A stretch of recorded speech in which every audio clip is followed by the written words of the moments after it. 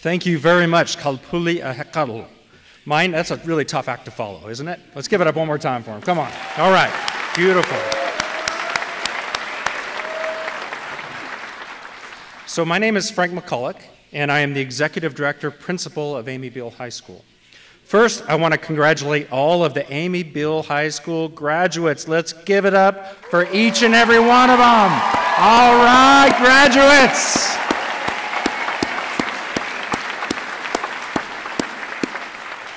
I also want to acknowledge Amy Biehl High School Board and Foundation um, members in attendance. Tina Garcia Shams, Eduardo Martinez, Scott Flegel, Amy Adair, Emily Darnell Nunez, Leslie Andrews, and, fin and Finney Coleman.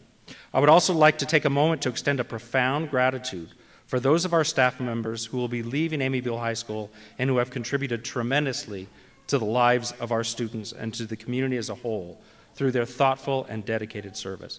Thank you to Bonnie Smith, Martin Hone Sanchez, Rondi Malsev, Susie Smith, Marilyn Luna, Liz Pfeiffer, and Nikki McKay. I wish you all great happiness and success in your next endeavors. Thank you very much, everybody.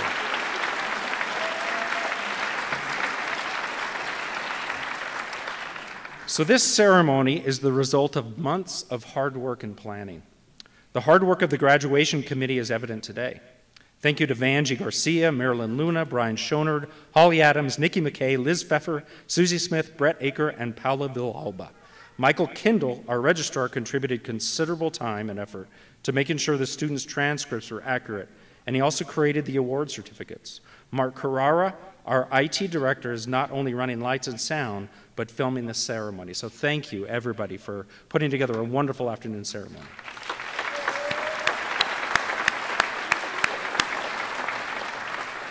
I would also like to um, I would also like to invite you to a graduation reception in the Chemo Gallery directly after the graduation ceremony.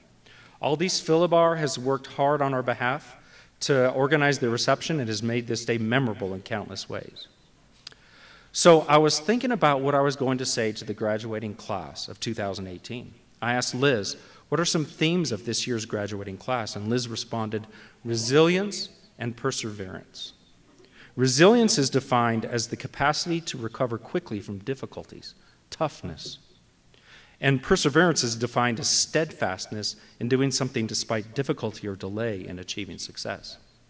Synonyms for re resilience include elasticity, energy, liveliness, pep, and vitality. Synonyms for perseverance include tenacity, determination, steadfastness, purposefulness, patience, endurance, diligence, dedication, and commitment. When I reflect on Amy Biehl High School and our mission and purpose, our rigorous intellectual demands, our expectations of students serving our community, and when I look out at each and every member of our graduating class, recognizing that each of you have, have rallied to our demands and met our expectations, I see a strong correlation between resilience and perseverance. I see in you intellectual toughness and steadfastness. I see in you energy and purposefulness. I see in you intellectual toughness. I read that. Sorry, excuse me. I'm reading over here.